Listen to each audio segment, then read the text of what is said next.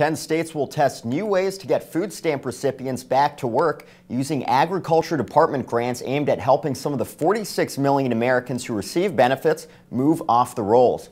The grants come as the Republican Congress is exploring ways to cut the program, which cost $74 billion last year. The cost of the program has doubled in the past seven years.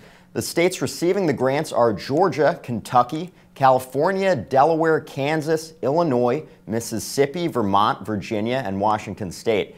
Agriculture Secretary Tom Vilsack said 35 states applied for the $200 million in grants, which were part of a wide-ranging farm bill that went into law last year. For The Street, I'm Jon Kostakopoulos in New York.